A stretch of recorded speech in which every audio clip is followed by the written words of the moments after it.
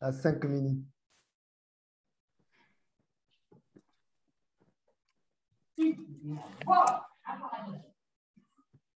Il y a Albert Ndouba, il y a Albert Ndouba, il y a Asman, il y a Aristide. Bon, c'est déjà beaucoup, hein? on est déjà à 30. Hein? Il y a Dominique. bonjour mesdames, je suis Abel Gouba du Burkina Faso. Il y a, il y a, il y a Grace Likwaya. bonjour monsieur. Ça, c'est l'occasion de se présenter, c'est mieux. Hein? Bonjour, que... bonjour, bonjour, monsieur. Bonne arrivée, bonjour, monsieur. Faso. je suis Abel Gouba du Burkina Faso. Oui, Abel, bienvenue du Burkina Faso. Bienvenue. Soyez le bienvenu. Les, les Burkinabés, ça va là? Ça doit aller. Merci beaucoup. Merci. Bonjour. Bonjour. Bonjour. Bonjour. Bonjour. Bonjour. Bonjour. C'est qui est de...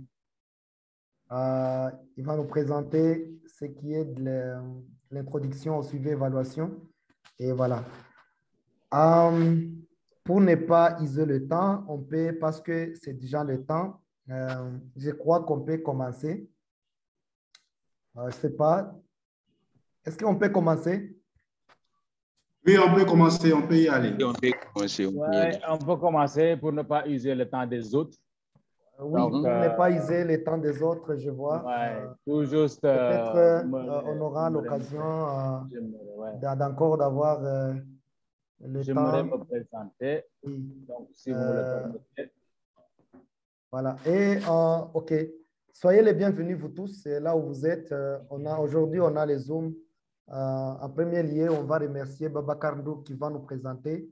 Et puis, je remercie aussi voilà, les étudiants ou peut-être les gens qui travaillent dans ONG qui, qui sont ici pour poursuivre les cours suivi évaluation voilà, des projets. Voilà, pour ne pas isoler le temps, on va euh, inviter Babacar Ndour pour qu'il nous présente euh, la session d'aujourd'hui. On aura l'occasion euh, vraiment de, de poser des questions si, si possible. Voilà, mais aujourd'hui, on a les cours d'introduction au suivi évaluation qui est le projet de programme de développement. Comme le sujet, vous le savez, euh, euh, nous, avons, nous allons parler euh, beaucoup de choses que Baba Karndour vraiment va nous dire, qui est de l'introduction des différentes les différences entre le suivi et l'évaluation, qui est l'importance, quelle est l'importance du suivi évaluation dans le programme de développement. Voilà. et suivi du cycle de vie d'un projet aussi, il y aura aussi les présentations des données, euh, voilà, euh, comment écrire le rapport de suivi évaluation. Et voilà, euh, c'est tout ça qu'on va parler dans, le, dans la session, bon, je dirais, dans les sessions d'aujourd'hui. Voilà, Baba Karndour est là pour nous présenter et puis nous, peut-être, on aura l'occasion de poser des questions. Mais je vous remercie et soyez les bienvenus, vous tous là où vous êtes. nous, vraiment, nous vous invitons juste pour avoir une notion euh, pour dans des cours de suivi évaluation. Voilà, Baba Karndour, soyez les bienvenus euh, pour euh, la présentation d'aujourd'hui. Merci. Merci. voilà, merci, merci, merci, merci beaucoup. Vous m'entendez tout le monde? Oui. Voilà, merci, M. Chaka. Et merci, chers collaborateurs. C'est un immense, immense plaisir d'être avec vous, surtout dans ce domaine qui devient multi, multinational et à toutes les nationalités qui, ont, qui sont en train de suivre avec nous cette présentation et que j'aimerais vous dire que cette présentation ne sera qu'un travail euh, d'ensemble, un travail participatif et j'aimerais qu'on fasse la présentation, le cours ensemble. Donc, euh, vous allez mettre vos inputs et moi aussi, je vais mettre mon peu que je sache. Donc, euh, pour me présenter, je suis Mchendour Babacar, je suis expert en management de la santé et je suis spécialiste en suivi évaluation et je suis coordonnateur des évacuations aériennes dans une grande ONG de la place qui est l'ONU. Donc, euh, pour finir ce cours et pour la réussite de ce cours aussi, je vais prêter attention aux autres collaborateurs qui sont dans le groupe, à savoir Mouché Dara, Bakari du Mali et Mouché Chaka depuis Nairobi, et d'autres qui pourront aussi participer pour mettre encore beaucoup de sel dans ce cours. Parce que vraiment, je n'aimerais pas décevoir les Égyptiens, je n'aimerais pas décevoir le Burkina, je n'aimerais pas décevoir les autres aussi. Merci encore. Donc, pour le jour, pour aujourd'hui, euh, l'agenda, ça sera ça. Vous m'excusez euh, avant de, commencer parce que le cours est tellement volumineux, c'est tellement volumineux et on a pensé au temps. C'est pourquoi on a réduit beaucoup de choses.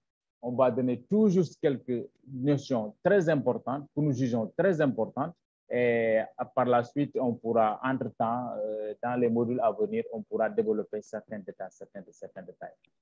Donc, euh, à un moment donné, vous pouvez m'interroger, vous pouvez prendre note et il y aura un slide uniquement pour euh, poser des questions et on pourra participer.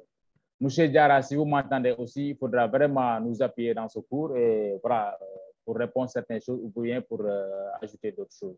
Oui. Voilà, donc, voilà, donc on va partir sur ça, sur, sur, je crois que tout le monde me voit, c'est la visibilité, c'est bon pour la présentation. Oui, oui, oui, c'est euh, bon. oui, Babacar, c'est bon, c'est bon. OK, donc on va parler de l'introduction des concepts, euh, de la différence entre le suivi, l'évaluation, l'examen et l'audit, ce qui parfois met euh, quelques détails. On va parler de l'importance du suivi, parce que pourquoi l'importance, pourquoi le suivi est important? On ne le faisait pas dans nos pays, dans nos pays sous-développés, on ne faisait pas le suivi, on ne faisait pas l'évaluation. C'est pourquoi beaucoup de nos projets, du, que ce soit des projets du gouvernement ou bien des projets privés, des fois, il y a des, des détails. OK.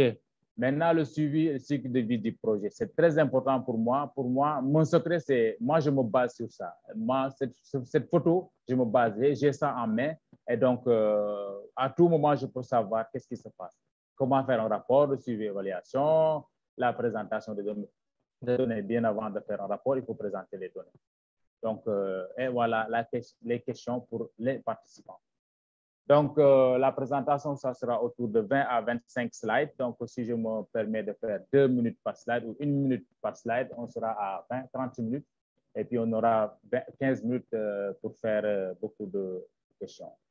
Donc, quelques définitions sur les termes et concepts clés. La gestion axée sur les résultats. On ne peut pas faire de suivi-évaluation sans pour autant penser à la gestion axée sur les résultats. On fait du suivi-évaluation pour gestion axée sur les résultats. Le suivi évaluation pour la réussite de nos projets, la réussite de nos programmes, que ce soit des projets, des programmes, des, des, des, des gouvernements ou bien des ONG, quel que soit le type d'ONG, il faut impérativement le suivi évaluation. Même ce que nous faisons à la maison.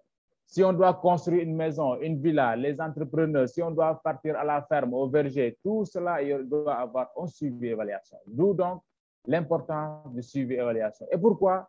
Pour des résultats, pour la gestion accessible aux résultats. Ça ne sert à rien de financer beaucoup d'argent et de ne pas pouvoir accéder sur ces, les résultats. Donc, la gestion accessible aux résultats, c'est une approche globale de la gestion des projets, programmes, principal, principalement à définir des résultats mesurables. Donc, ce que je disais, c'est quoi? C'est la recherche des résultats mesurables.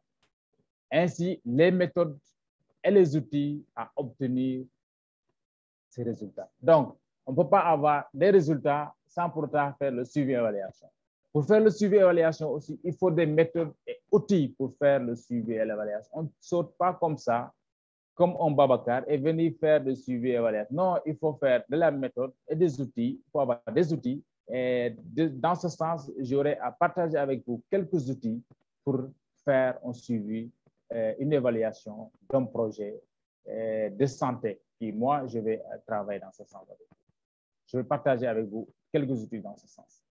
Maintenant, ce mode de travail contribue à améliorer la performance, la redevabilité grâce à une logique, et voilà, de planifier, de gérer, de mesurer.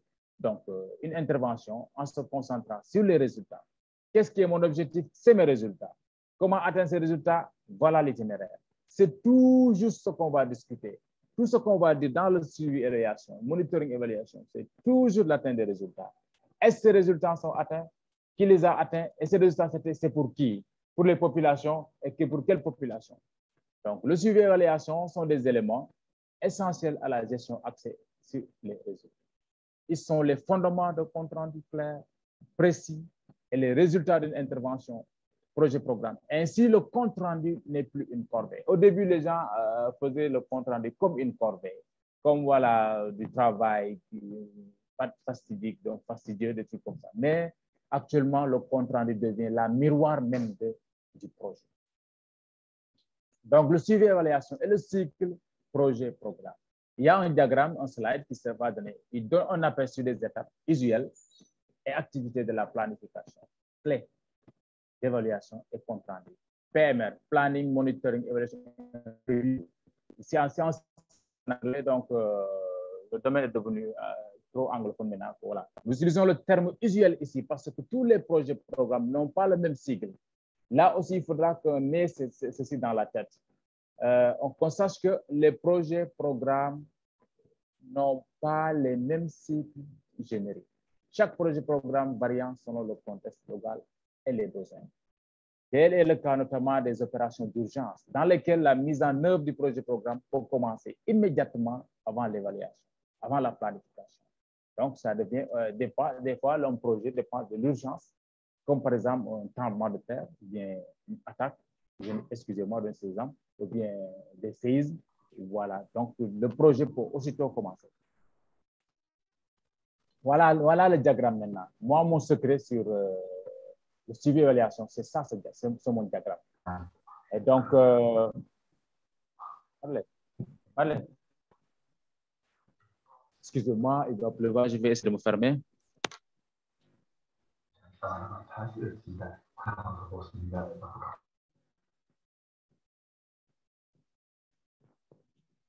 Voilà, voilà, voilà, voilà, excusez-moi. Donc, voilà, je disais, mon diagramme, c'est ça. L'activité clé, les activités clés du suivi et de l'évaluation, du cycle de vie projet du programme. Donc, dans ce diagramme, tout est dit, tout le projet, tout le projet, toutes les activités qui doivent se passer dans le projet se trouvent dans ce diagramme.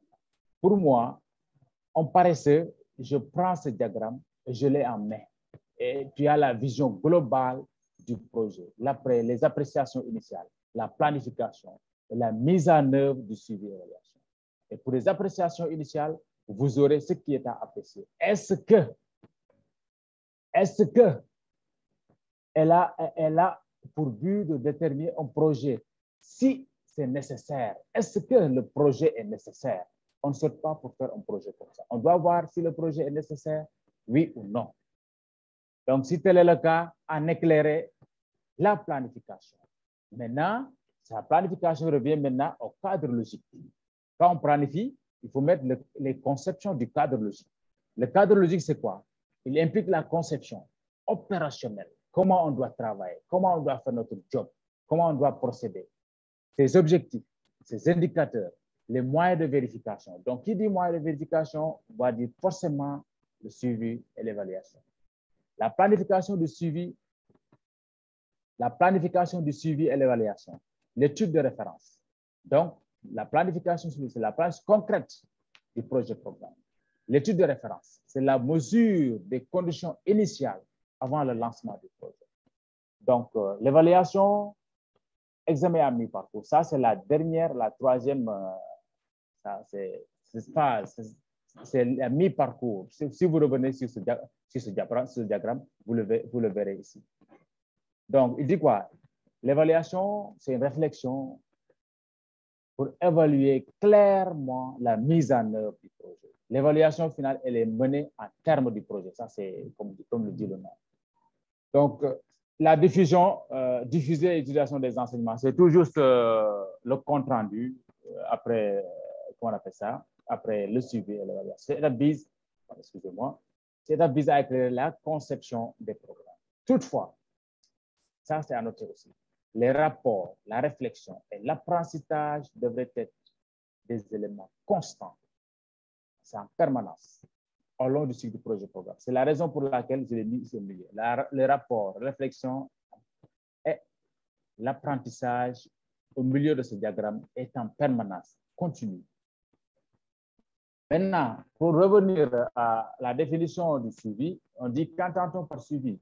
Donc, Le suivi consiste à collecter, à analyser systématiquement l'information. Donc, c'est très important. Collecter, analyser systématiquement l'information.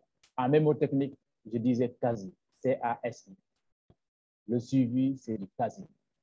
La collecte, l'analyse systématique de l'information. Pour, pour suivre réalisé par rapport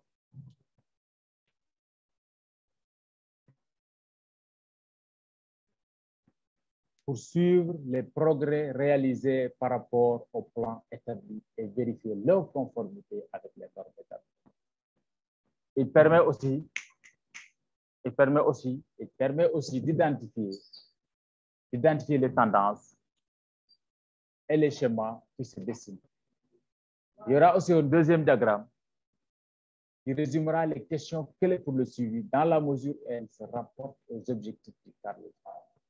Il convient de noter que ces questions portent davantage sur les objectifs du niveau inférieur. Vous allez voir ces objectifs. Là aussi, ce diagramme, pour moi, c'est vraiment, on ne peut pas dire qu'à parcourir, mais c'est à maîtriser. Parce que toute la base du suivi évaluation, ça se base sur ça, sur ce diagramme.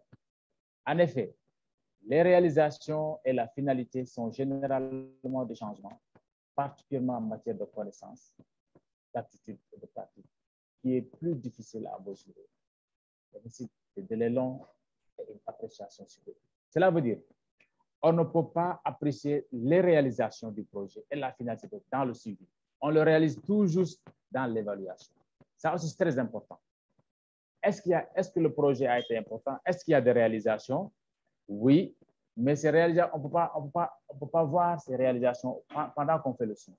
C'est en faisant maintenant l'évaluation qu'on saura est-ce qu'il y a des changements de comportement, est-ce que, est-ce que, est-ce que, est-ce que? Donc voilà les questions dont je vous parlais tout à l'heure, les questions pour le suivi du cadre logique. Quand tu fais du suivi du projet, donc on se base sur des trucs pareils. Donc, il y a le cadre logique, il y a les apports, il y a les activités, ces objectifs hein, du cadre logique, les apports, activités, produits, réalisation finale. Donc, je vous parlais de ces réalisations et de ces finalités. C'est pour mesurer la réalisation et les finalités dans un projet programme. On ne peut pas, les quantifier par le suivi. Je dis que mesurer les changements au niveau de la finalité exige plus de temps. Cette phase révèle de l'évaluation, non du suivi. Donc, vous conviendrez avec moi mesurer, pour quantifier, pour vérifier la, la, faisabilité ou la, la réalisation de la, des finalités ou bien de, la réalisation, est-ce que le projet a des réalisations ou a une, une finalité, quelle que soit la finalité, positive ou négative, c'est tout juste au niveau, c'est toujours au niveau du, du niveau de l'évaluation. Maintenant, quant aux apports, activités, produits, donc pour faire le suivi des apports, qu'est-ce qu'il y a des apports? Qu'est-ce qu'on a amené? Le projet, qu'est-ce qu'il a amené? Il a amené des fonds, du personnel, du matériel. Est-ce que le matériel est disponible à temps voulu? Est-ce que la quantité, la qualité est là? Donc, ça, c'est du suivi qu'on peut faire directement sur le terrain. Donc, euh, les activités sont-elles mises en œuvre conformément au calendrier Donc, on ne peut pas planifier quelque chose qui doit se passer aujourd'hui. Le cours aujourd'hui, c'est le 23. Et voilà, est-ce que le cours a été fait au 23 donc, vous-même, vous, allez faire votre suivi sur ce cours ou bien votre évaluation sur ce cours. Est-ce que même euh, les activités qui étaient prévues ce 23, cela veut dispenser un cours, est-ce qu'elle a été réalisé à temps voulu? Donc, ça, c'est des trucs de suivi. Tout ça, c'est euh, au niveau du suivi. Maintenant, les produits, les produits maintiennent la réalisation correspondante. Cela veut dire quoi? Est-ce que ce qu'on a produit et ce qu'on a réalisé, c'est ce qui était attendu?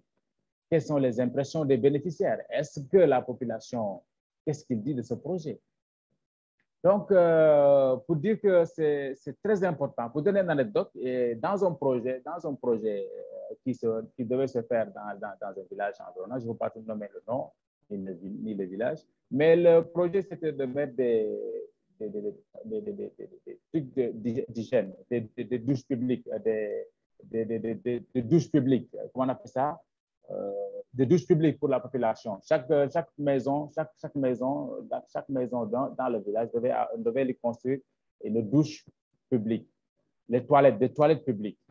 Maintenant, quand on a construit ces toilettes publiques pour, pour tout le village, les villageois n'ont pas utilisé les toilettes publiques pour leurs besoins, mais ils ont utilisé les toilettes publiques pour garder leur mil, leur maïs ou leur riz dans les toilettes fermées. Comment lisez-vous ça, vous qui êtes le, suivi, l'évaluateur de ce projet? Ça, c'est très important. Est-ce que l'impression des bénéficiaires en ce qui concerne des activités, si on pose cette question, ou bien s'il y avait de la participation, on appelle ça de la gestion participative, on ne doit pas faire un projet programme, ça, faire participer à la population, aux concernés. Parce que dès lors que tu dis que voilà, ils ont besoin de douches, tu, as fait l'étude du milieu, tu dis que la, la, population a besoin de douches, mais sans leur consentement, est-ce qu'ils ont besoin de douches Et réellement, cette population avait besoin de quoi en conclusion? Elle avait besoin d'un lieu où garder leur vivre. S'ils avaient là où garder leur vivre, donc ton projet allait passer pour mettre les, douches publiques euh, au niveau de ce village. Donc, ça, c'est tout juste euh, un exemple pour dire que là, c'est une gestion participative, bénéficiaire, donateur et euh, acteur. Tout le monde doit être vraiment assis, et avoir le même mot, avoir la même conclusion, et pour avoir, une fois les résultats donnés, il y aura, ça sera accepté. Donc, quand on par évaluation, donc on a fini le suivi, maintenant on est à l'évaluation. Quand on par évaluation, l'OCDE il dit que l'évaluation, à, savoir, une, il définit l'évaluation à savoir une appréciation systématique objective, ASO, d'un projet, programme, d'une politique en cours ou terminée, de sa conception, de sa mise en œuvre. Donc, l'évaluation, là, il est en permanence utilisé. Le but est de déterminer la pertinence l'accomplissement et l'accomplissement des objectifs. L'efficience en matière de développement, l'efficacité, l'impact et la durabilité. Ça, c'est autre chose. On a parlé ici de beaucoup de choses. La pertinence, l'efficience, l'efficacité, l'impact et la durabilité. Une évaluation devrait fournir des informations crédibles et utiles permettant d'intégrer les leçons de l'expérience dans le processus de décision de Donc, chaque évaluation, on, a une référence. On, apprend de quoi? Retour, retexte, retour d'expérience. Qu'est-ce qu'on a appris des expériences du passé? Les évaluations visent à mettre aussi en évidence les effets de ce qui a été réalisé, à mener une réflexion sur ces effets et en rectifier la valeur.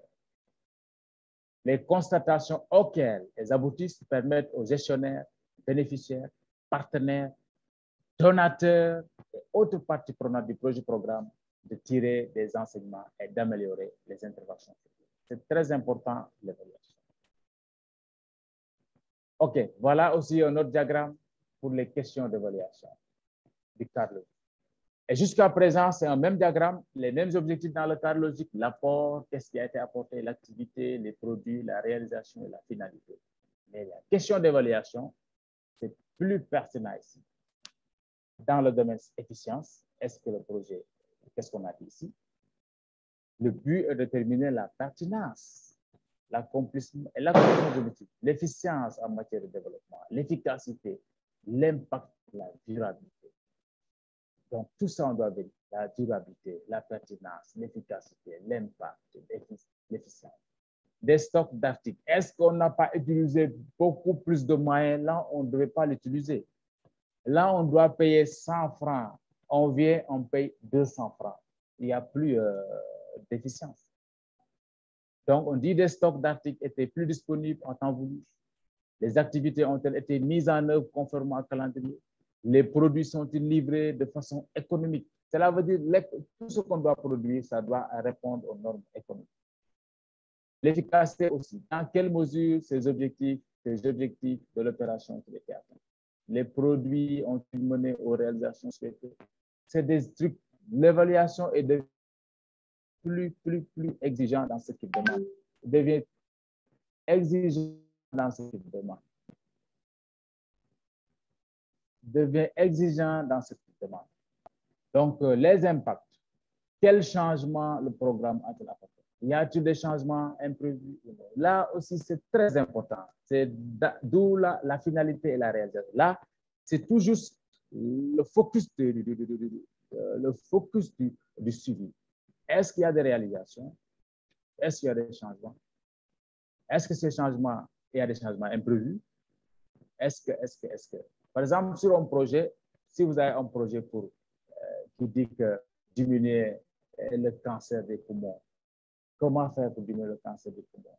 Votre projet, c'est quoi? Votre évaluation, c'est quoi? Diminuer euh, euh, le nombre de fumeurs ou bien faire une information, éducation, communication sur les fumeurs, sur les fumeurs. À la fin, est-ce que l'objectif de former les fumeurs, de rencontrer des fumeurs, est-ce que est-ce que tu as diminué le nombre de fumeurs?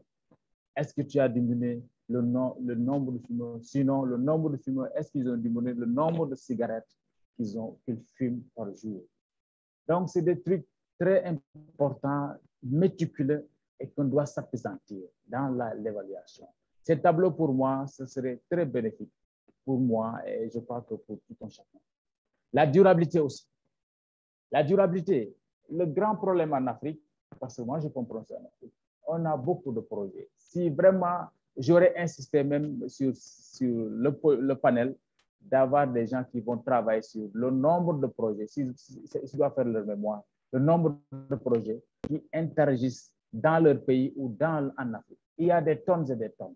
Mais au final, si ces projets rentrent ou bien est arrêté, est-ce que le projet va continuer? Non. La majeure partie des projets, et quand le projet est arrêté, ils partent. Donc, quand le projet est arrêté, les, les effets bénéfiques ne dureront plus, ils s'arrêtent. C'est pourquoi on demande la durabilité. Quand le projet dure cinq ans et que quand les cinq ans sont épuisés, la durabilité doit commencer au-delà de cinq ans. On doit savoir est-ce que ce qui, était en train de faire ici va continuer sur la population. Mais quand le projet arrête, on sent que vraiment, il n'y a plus les effets bénéfiques. Donc ça aussi, c'est quelque chose à regarder. Si on doit se focaliser sur les ONG, sur les, sur les projets, programmes qui interagissent, qui travaillent dans nos secteurs, on doit voir la durabilité. Moi, ce qui m'intéresse, c'est la durabilité. C'est après. Quand un projet fait cinq ans, c'est au-delà de ces cinq ans. Est-ce que les effets bénéfiques continuent? La pertinence aussi.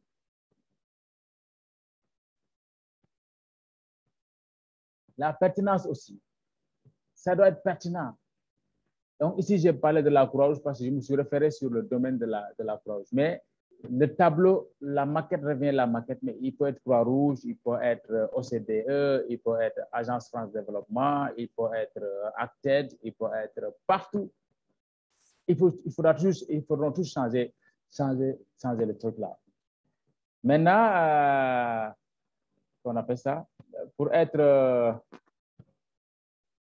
je vais vous montrer quelque chose. On n'est pas arrivé là. Voilà. Maintenant, la différence entre le suivi, évaluation, examen, audit.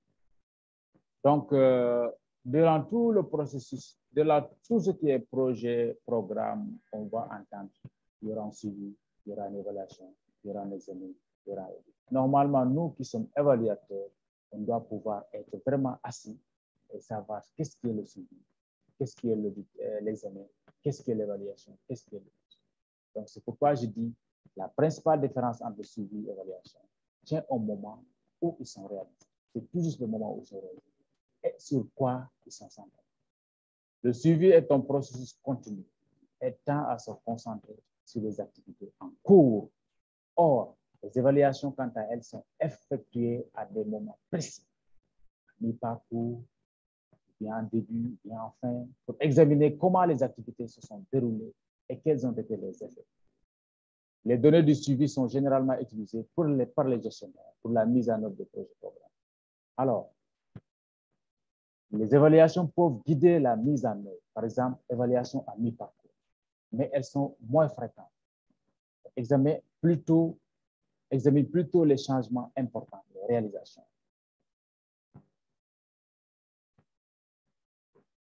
Tout en reconnaissant que des différences existent, il est important de rappeler que le suivi et l'évaluation sont intégralement liés. Le suivi fournit des données pour l'évaluation, tandis que les éléments de l'évaluation, appréciation, ressortent parfois du suivi. Donc, c'est du link entre Le suivi là, c'est du link entre Par exemple, le suivi peut nous indiquer que 200 facilitateurs communautaires ont été formés. Oui, ce qui est arrivé réellement. Parce que c'est parti, tu as constaté qu'ils étaient ça en classe, ils ont fait, il y, a la, il y a la feuille de présence, il y a ça, il y a ça, il y a ça. Donc, tu as constaté que ça, ces gens ont été, ont été formés. Ce qui est arrivé. Mais il peut aussi comprendre des, des tests, des post-tests, des pré-tests ou des post-tests pour apprécier la qualité. Et là, revient maintenant l'évaluation, qui peut utiliser ces informations recueillies au cours du suivi pour estimer la contribution de la formation à la réalisation de l'études. Parce que quand il y a une formation de qualité, donc effectivement, il y aura, on, aura des réalisations de qualité. Par exemple, l'utilisation accrue du préservatif. Et si cela a une incidence, a une incidence sur la réduction de la transmission du VIH. Là, on verra, ça, devient automatiquement de la qualité. On verra ce, ce qu'il en est. L'examen ou review. Donc, l'examen, l'examen est une opportunité bien structurée de mener une réflexion pour mettre en évidence les principaux problèmes et préoccupations. Donc, ça c'est clair. On cherche les préoccupations, les problèmes. L'examen est moins fréquent que le suivi, qui est une activité continue est moins participatif que l'évaluation. Un audit est une analyse visant à vérifier la conformité aux règles, règlements, procédures ou mandats. C'est tout juste la différence. Donc, l'audit et de l'examen, c'est autre chose. Alors, les audits financiers, les audits financiers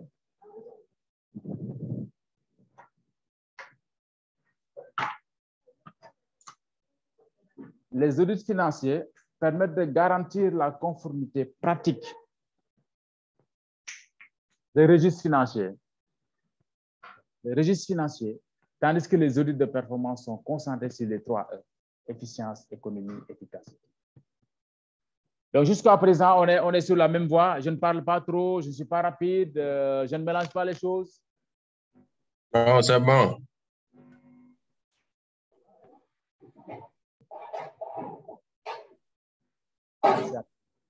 Là aussi. c'est bon, euh, Babacar. Babacar. Merci, merci. C'est bon, c'est bon. Merci, Voilà, là, c'est une relation entre le suivi et l'évaluation. C'est tout juste, il y a des termes, il faudra voir qu'il y a une petite contradic- contradiction suivant le moment qu'ils ont fait, qui sont, qui sont faits. Mais aussi, il y a une relation entre le suivi, c'est de la complémentarité. La- et voilà un, un tableau que j'ai essayé de faire de gauche à droite. La relation entre le suivi et l'évaluation. Vous voyez à gauche le suivi, vous voyez à droite euh, l'évaluation. Donc, le suivi, la collecte des données. Après, c'est l'analyse. Après analyse des données, il y a des rapports. Après le rapport, on contrôle action, correction au niveau opérationnel. Maintenant, après analyse des données, il faudra stocker ces données quelque part. Donc, euh, là aussi, c'est un autre, euh, ça sera une autre présentation pour les données, comment les prendre, comment les stocker, comment les vulgariser. Donc, euh, à droite, on a l'évaluation. L'évaluation, on aura deux informations pour évaluer. L'information provenant du suivi, comme vous voyez dans, cette, euh, dans ce diapo. Euh, L'information aussi provenant, provenant d'autres sources. Après ces deux informations, on va analyser encore. Après l'analyse, on donne des recommandations. Ces recommandations, c'est pour confirmer ou modifier les objectifs qui étaient déjà auparavant euh, au niveau des cadres, niveau du cadre logique. Donc, euh, voyez l'importance du suivi-évaluation. Sans le suivi-évaluation, on marche à l'aveuglette. On a le véhicule, mais on n'a pas les feux de route ou bien les phares qui sont allumés. On roule comme ça, on ne sait pas sur quoi, sur qui, sur tout. Donc, il faudra impérativement une évaluation, une évaluation méticuleuse parce qu'il y a des informations qu'on doit prendre. Et s'il n'y a pas de suivi, tu manques, tu, manques d'informations au niveau de l'évaluation. Donc, il faudra un bon suivi. Et ce bon suivi, ça doit être vraiment gérer la collecte de données et comment analyser ces données aussi.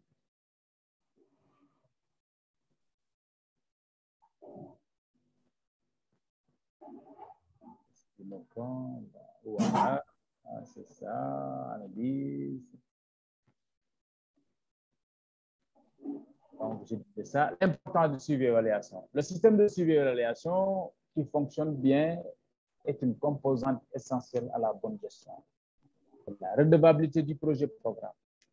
Un suivi et une évaluation réalisée en temps opportun et fiable pour les informations utiles. Donc, il faut savoir que les donateurs, ceux qui financent les projets programmes, ils ont besoin de ce suivi évaluation pour continuer à financer ou bien pour arrêter le financement.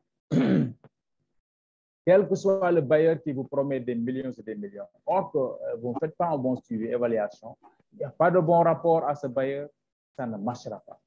Donc l'important, c'est de soutenir la mise en œuvre du projet programme, contribuer à l'apprentissage organisationnel, soutenir les principes de redevabilité et de respect des règles.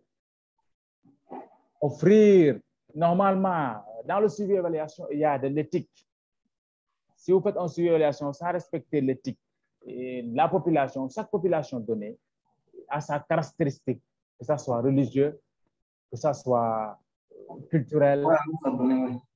Donc, c'est des choses qu'on doit respecter. Promouvoir et célébrer notre travail. Maintenant, voilà ce qui a été dit ici. L'important de suivre dans ce tableau, on dit, on dit que le suivi et l'évaluation, ça ne sert pas uniquement à faire plaisir aux donateurs. Oui, mais ça sert aux donateurs. Mais ils font partie intégrante du projet. Tant qu'un projet n'a pas de suivi et évaluation, ça ne marche pas. Même la maison que je construis, si tu ne fais pas de suivi évaluation pour voir les maçons, pour voir l'entrepreneur, pour voir ça ne marchera pas.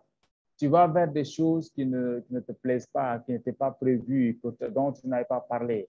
Et donc, il faut impérativement un suivi évaluation. Mais pour faire ce suivi évaluation, il y a des outils, il y a des, des, des, des, des étapes.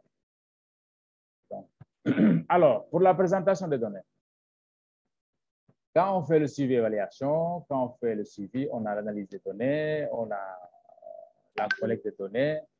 Maintenant, la présentation, on va voir si c'est bon.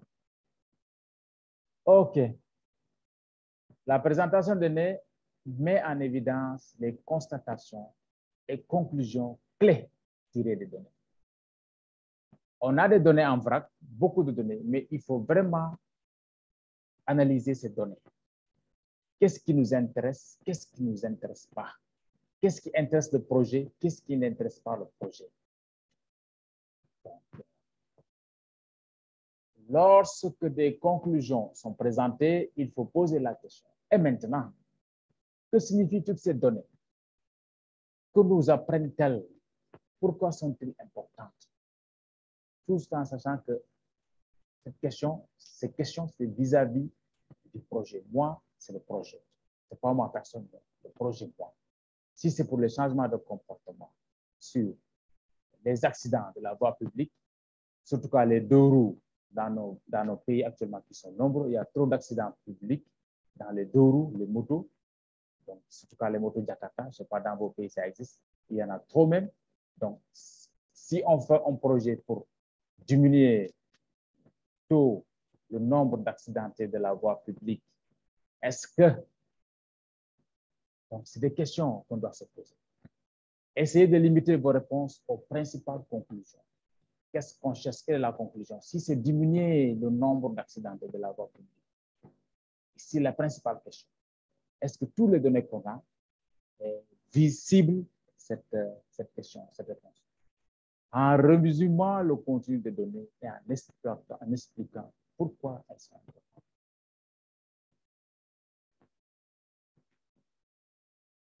Rappel concernant la présentation. Donc, pour la présentation de en réalité, ça, c'est succinct, c'est tout juste un résumé, très résumé, parce qu'il y a un module aussi. On peut faire encore 20 diapos là-dessus. Donc, euh, c'est tout juste un cours introductif. Par la suite, maintenant, suivant qu'on chemine ensemble, on va partager, discuter, partager, discuter sur beaucoup de choses. Maintenant, rappel concernant sur la présentation de. Assurez-vous l'analyse ou les résultats que vous essayez de mettre en évidence sont suffisamment équilibrés. Ça, c'est très important. On ne donne jamais des données. On ne donne pas de données en vrac comme ça. Il faut l'analyser des données. Et ces données, est-ce que ça correspond à mon projet? Est-ce que ça correspond à ma question principale? Comme il est dit ici. Essayez de limiter vos réponses aux principales conclusions en résumant le contenu des données et en expliquant pourquoi elles sont importantes. Très important. Veillez à ce que la présentation des données soit claire simple. La précision permettant aux utilisateurs de comprendre les données plus facilement. Pensez à votre public. Adaptez le niveau, le format de votre présentation en fonction de ses besoins. Par exemple, un résumé ou une présentation orale ou écrite.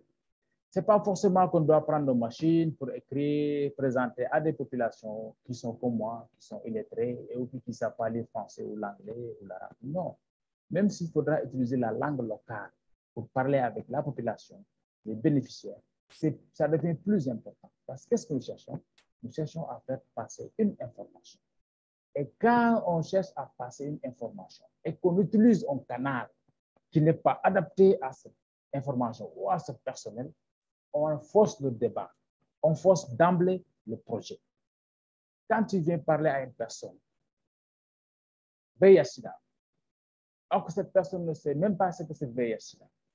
Tu commences à faire des présentations, tu montres des, vidéos, des formats. Donc, cette personne, d'abord, qui n'a pas, qui n'a pas été lavée dans le cerveau, qu'est-ce que c'est que ça? Qu'est-ce que c'est que ça? Qu'est-ce que c'est que ça?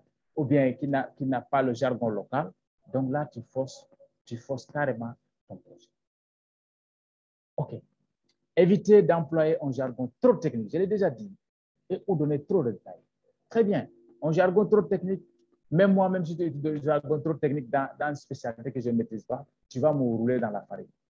Donc, euh, ma spécialité, je peux utiliser, mais ce qui n'est pas ma spécialité, même moi-même qui dis que je suis instruit, si tu utilises un autre jargon trop technique qui parle d'une autre, autre, spécialité que je ne maîtrise pas, ça devient une autre langue pour moi. OK. Donc, euh, c'est toujours ce que je voulais faire rappeler. Maintenant, la rédaction d'un rapport. Là aussi, on peut faire un autre module de cours sur la rédaction efficace de rapport. Et suivant, suivant les ONG, l'AFD, il fait un autre rapport. C'est la même chose, mais plus, plus résumé. La Croix-Rouge, il fait un rapport dans un autre sens. Donc, euh, le PNUD peut faire un rapport dans l'autre sens. Donc, mais tous ces ONG, l'objectif de c'est quoi? donner l'information plus claire. Information claire et lisible. Et pour ce, euh, donc vous avez quelques items. L'information sur le projet, le résumé analytique, euh, une synthèse du rapport indiquant l'état du projet et mettant en évidence les principaux défis. La situation financière, un bref aperçu de la situation financière du projet programme tiré des rapports financiers mensuels du projet programme.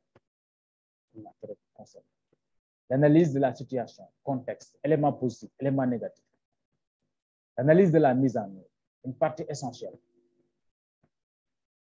L'analyse fondée sur les objectifs tels que définis dans le cadre logique. Il ne faut jamais oublier les objectifs cadre. C'est très important. Sur les données figurant dans le tableau suivi des indicateurs. Là aussi, euh, le TSI, euh, on peut avoir la chance encore de, de, proposer quelque chose pour le TSI, le tableau suivi des indicateurs. Parce que suivant ces indicateurs, on fait le suivi. Est-ce qu'on a la réalisation? Qu'est-ce qu'on a réalisé? Réalisation 1, réalisation 2. Les produits, qu'est-ce qu'on a produit? Production 1, production 2. Donc, tout ça, on va suivre la participation et la réclamation des parties Là aussi, il y a, des outils pour faire, les réclamations.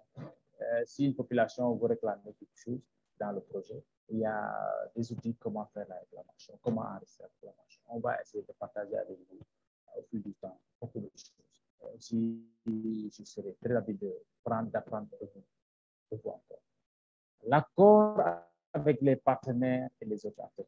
Une liste des partenaires projet programme et des accords conclus. Par exemple, accord relatif au projet programme, protocole d'accord. Parce qu'il y a aussi des accords sur l'éthique.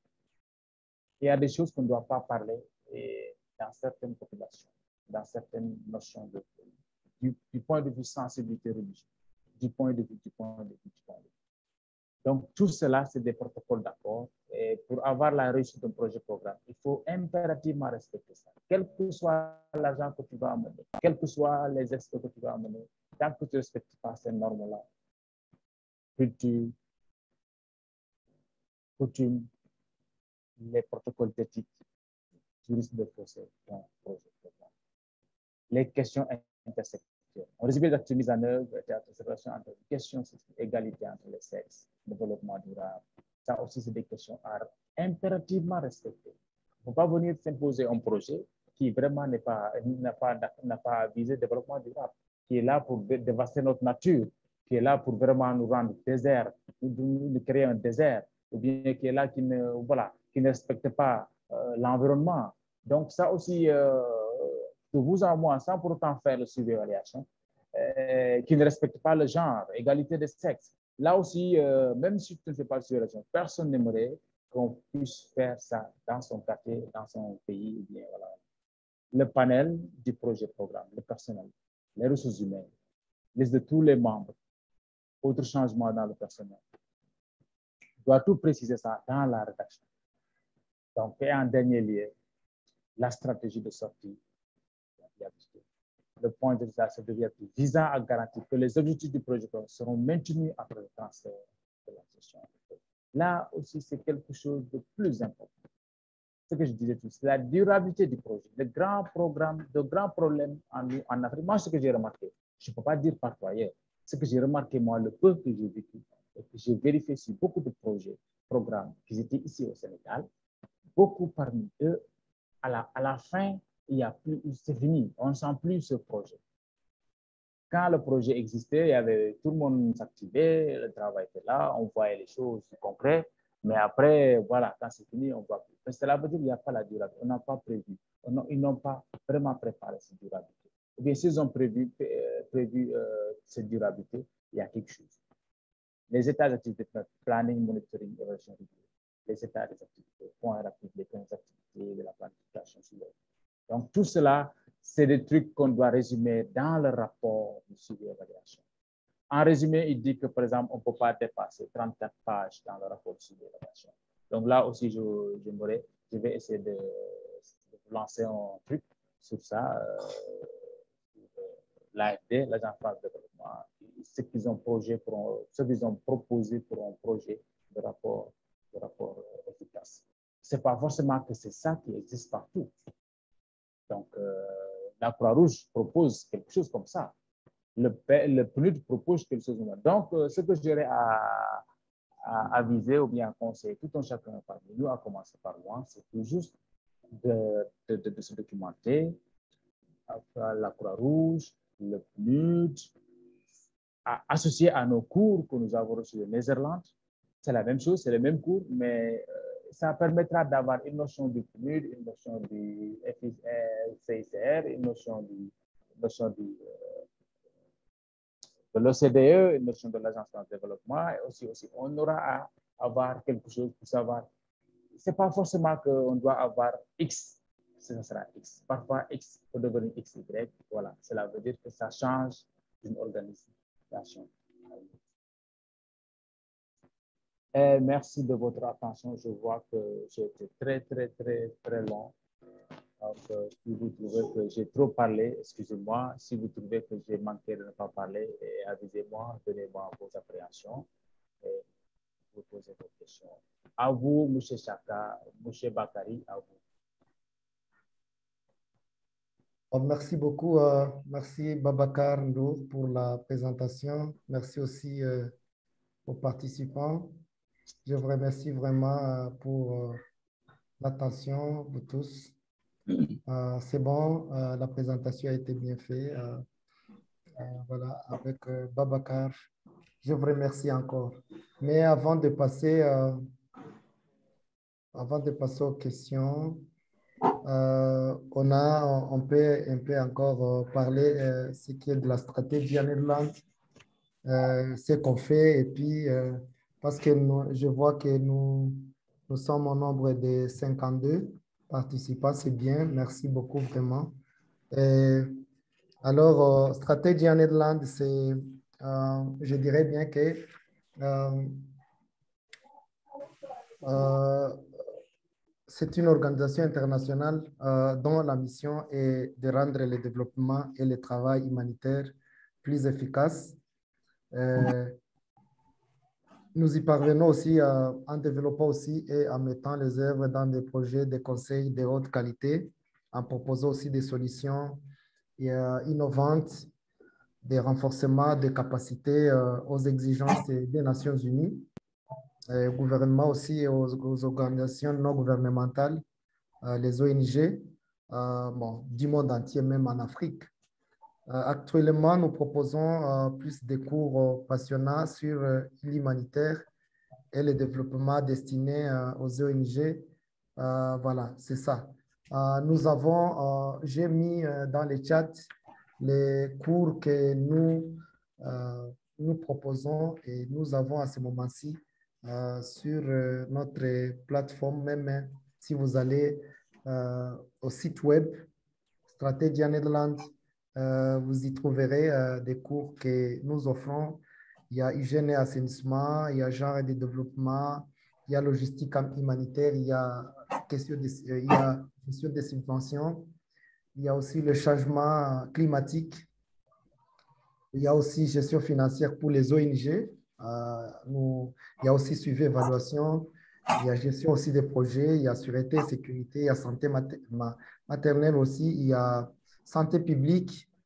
Euh, nous avons aussi gestion financière. Euh, il, y a les, plans stratégiques aussi communautaires.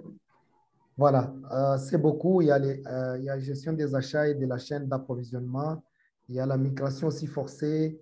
Il y a les études humanitaires et développement. Voilà, il y a aussi développement communautaire. Nous avons aussi gestion des catastrophes, le développement communautaire aussi, nous avons aussi la rédaction et proposition des collectes de fonds, euh, ce qu'on appelle en anglais euh, Proposed Writing and Fundraising. Ce sont des cours vraiment que nous offrons et nous avons plusieurs étudiants euh, qui ont déjà, qui participent, qui ont déjà même reçu leur diplôme. Voilà, nous offrons alors deux ou trois catégories parce que nous faisons ce qu'on appelle certificate qui est le certificat pour trois mois. Euh, ces trois modules. Et nous avons aussi euh, euh, ce qu'on appelle le diplôme, qui est le diplôme, c'est licence, qui est pour quatre modules. Et nous avons aussi le postgraduate, qui est le master 2, qui est, c'est huit modules pour une année.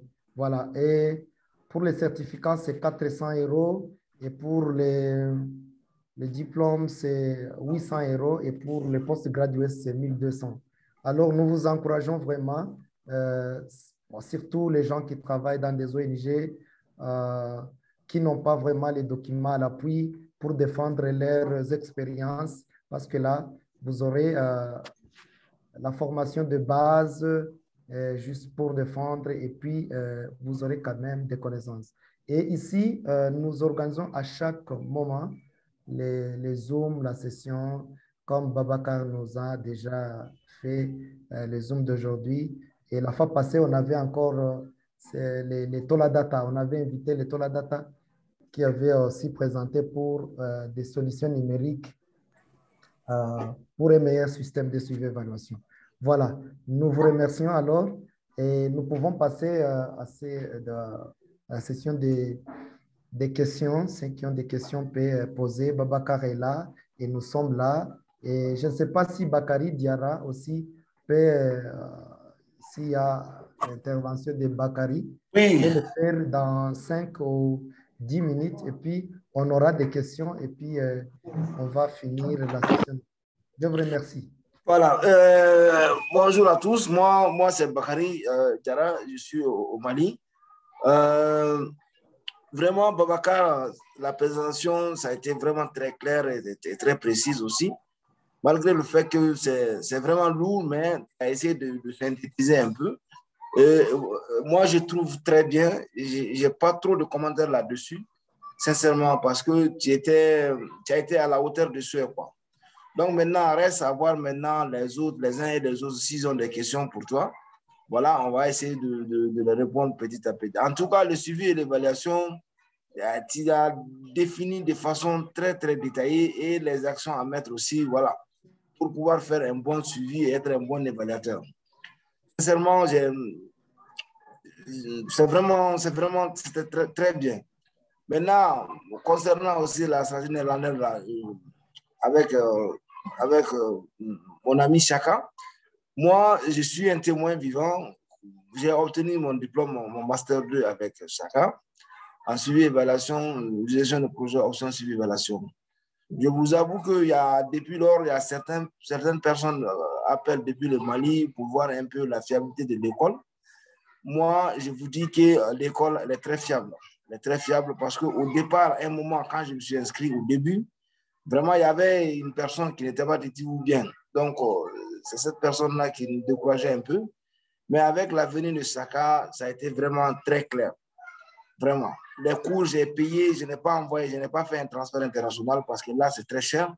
Je l'ai fait par, euh, par Western Union, je l'ai fait par MoneyGram. Et tout l'argent que tu envoies à l'école, vraiment, tu reçois, ils vont, ils vont, ils vont rien faire avec toi. Ils vont juste te donner seulement les reçus, ils te ils donnent ce que tu as payé. Et s'il s'agit des diplômes, ils te donnent ça. Et chaque fois, s'il y a des cours aussi, on t'informe, on t'avise. Vraiment, moi, pour moi, quand même, c'est du sérieux. Et j'invite les uns et les autres, vraiment, si vous avez vraiment, vous voulez vraiment prendre des cours avec eux, n'hésitez surtout pas. Et je vous dis aussi, je n'ai aucun lien avec eux. Il n'y a pas un contrat entre nous dire il faut faire la publicité. N'y a pas ça entre nous. Babacar, il est au courant. Il est aussi un témoin vivant. Donc, du coup, moi, je vous encourage aussi. Voilà. Et pour le cours de Babacar, franchement, Babacar, félicitations. Félicitations. Merci. Ok, je ne sais pas s'il y a, je sais pas si il y a autre qui peut euh, intervenir un peu. Euh, et nous avons euh, une réduction sur, à propos de suivi évaluation à ce moment-ci. On a donné une, euh, vraiment, nous avons une réduction euh, pour un mois. Ceux qui vont s'inscrire, euh, j'ai donné dans le chat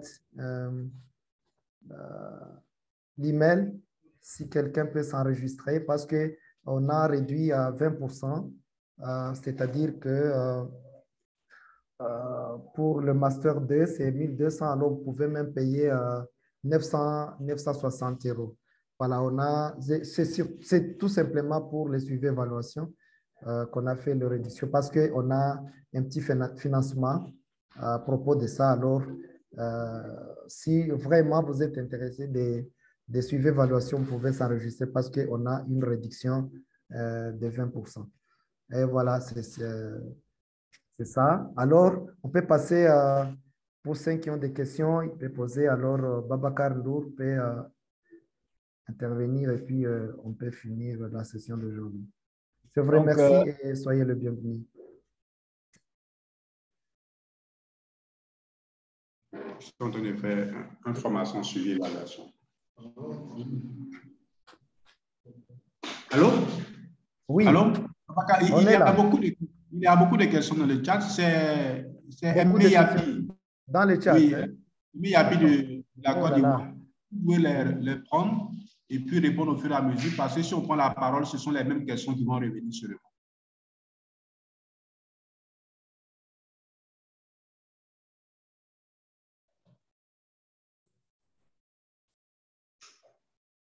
Babacar, Babacar, Ah, je suis là, je suis en train de voir dans le chat, je suis en train de regarder dans le chat les questions. En train de regarder dans le chat les questions. Donc, Mais, euh, bon, mais celui qui a posé euh, une question peut, peut encore la poser ici, il n'y a pas de problème. Euh, pour ne pas. Et puis, on va vérifier dans le chat. le chat, mais moi, je ne vois pas, je vois une seule question dans le chat. Hein? Ou bien, Oui. comment obtenir le catalogue de vos formations? J'ai toujours- vu juste une question là-bas. Il y a une main qui est levée. Allez-y, allez-y. posez la question. D'accord. OK, là, moi, ma question est la suivante. Est-ce qu'il y aura des activités pratiques euh, dans vos, pour les masters que vous faites là, pour les formations, il y a des activités pratiques dans, dans chaque pays pour les stages? Comment ça, ça se passe? Ça, c'est la première question. Euh, la deuxième Mhm. question, est-ce que c'est possible pour cette formation d'avoir un certificat ou bon, il faut faire une continuité de la formation jusqu'à la fin? Ça, c'est la deuxième question.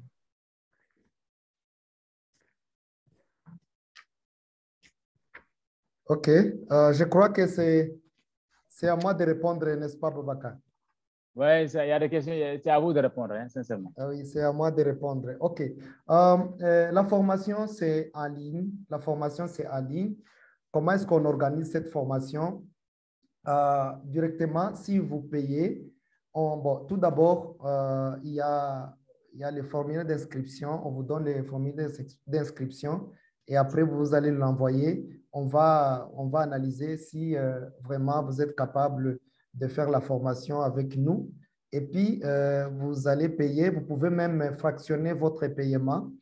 Et puis, on va vous mettre sur la plateforme. C'est sur la plateforme que vous trouverez des documents, le matériel. Et là, vous allez lire et puis vous allez répondre. Il y a, euh, c'est automatique quand euh, euh, vous faites euh, la soumission de vos devoirs là, on va vous corriger et puis on va vous donner le résultat. Et puis, après le résultat, euh, après avoir euh, terminé euh, les modules là, on va vous donner les certificats, même les relevés des notes. On vous donne les certificats, même les relevés des notes. Je dirais bien, même pour la formation de quatre modules là, qui est le diplôme, là, et vous faites aussi le research paper. Il y a le mémoire là, il y a la thèse que vous, voilà, vous allez faire. Voilà, c'est ça. Et, euh, et puis, euh, on fait aussi des workshops, ce qu'on appelle workshops, bon, dans des pays, peut-être. La fois passée, on pouvait organiser euh, ça, euh, on pouvait organiser euh, Burkina Faso, mais bon, ça n'a pas tenu parce qu'il y a eu un coup d'État, alors on a rapporté. Et c'est ça, parce que là, on donne directement, si vous terminez la formation, on vous donne euh, le diplôme. On vous donne le diplôme. C'est ça. On vous donne vraiment, même le relevé des notes. Et c'est bien connu partout au monde parce que euh, notre institution fait au moins 20 ans et nous avons plusieurs, plusieurs étudiants, plusieurs vraiment ressortissants. Même euh, comme Bakary aussi a dit, il est aussi là-dedans.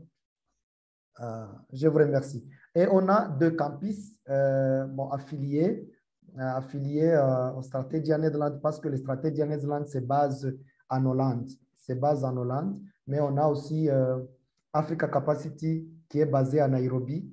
Euh, on a aussi, on a aussi IPMS aussi qui est basé aussi à Nairobi. Mais ce sont des campus affiliés, affiliés au Stratégie Netherlands. Je vous remercie.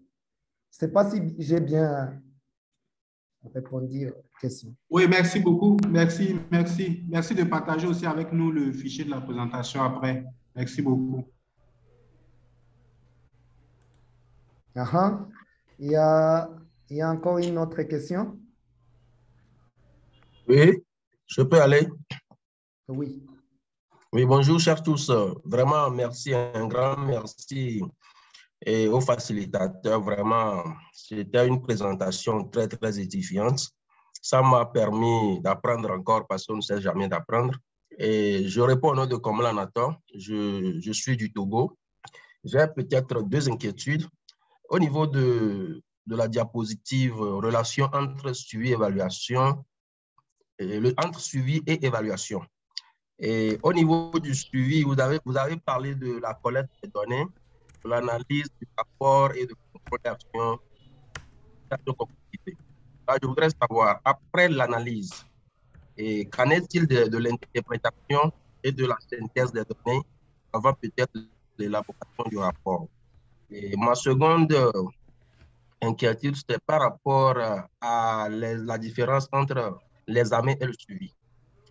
Parce que je crois que quand on fait le suivi, on peut aussi facilement, dans ce suivi-là, peut-être faire un petit examen, voir où est-ce qu'on en est pour peut-être une prise de décision. C'est vrai que l'examen aussi n'est pas aussi comme le suivi. Mais est-ce qu'on pourrait inclure l'examen là dans ce suivi? Et la troisième préoccupation, c'est peut-être une doléance. Est-ce que vous pouvez partager avec nous, comme vous l'avez promis au début, les outils? Par exemple, un exemplaire de dashboard, un outil d'évaluation et, et, autres. Quoi. Et si possible, même la présentation qui a été faite, vous pouvez les partager avec nous? Merci beaucoup à vous.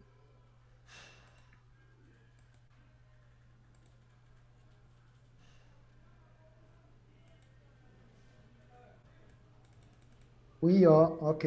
Babacar est là pour répondre à la question, mais moi, je vais vous ajouter tout simplement, nous avons les, euh, après euh, présentation, nous avons les euh, chaînes YouTube. nous allons mettre la, vidéo ici. Et puis, celui qui veut aussi, on peut lui donner les, les slides. Il n'y a pas de problème. Là, on les fait à, tout moment. Parce que même, même les Zooms de la fois passée, ça, y est dans, ça y est sur chaîne YouTube. Notre chaîne YouTube, Stratégie Je vais vous partager les liens tout de suite là. Et voilà, c'est ça.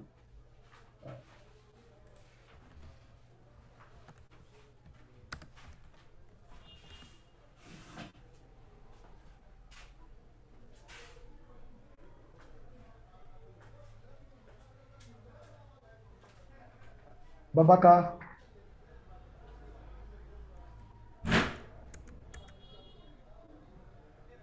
Babacar est là.